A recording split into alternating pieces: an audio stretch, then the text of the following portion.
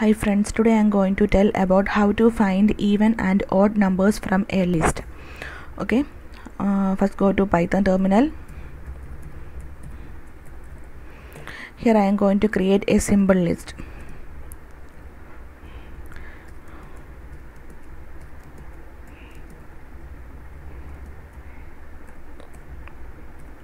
This is our symbol list. From this list i am going to find out which are the elements are even and which are the elements are odd numbers. Okay. For that i am going to write a for loop.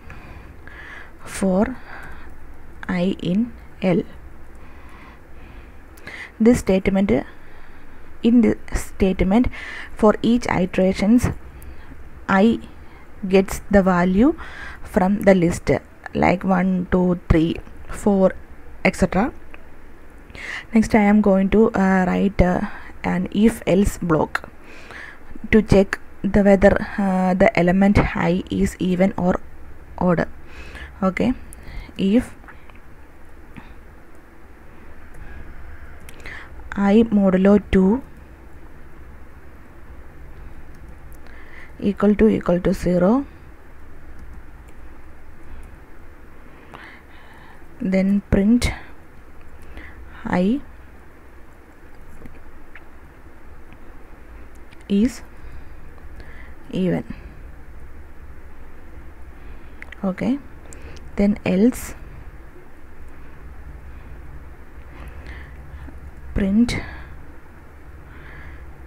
i is odd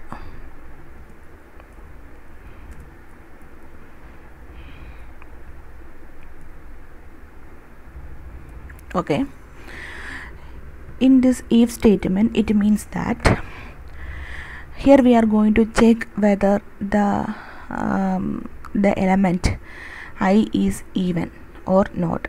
If it is even that is um, the i modulo 2 uh, gets the remainder 0 then it will print i is even if it if the remainder is not equal to 0 then it will go to else block and print i is odd. Okay? Here look at here. 1 is odd 2 is even and 3 is odd 4 is even 5 is odd and 6 is even. Okay? Like this way we can find uh, whether the elements in the list is even or odd. Okay thank you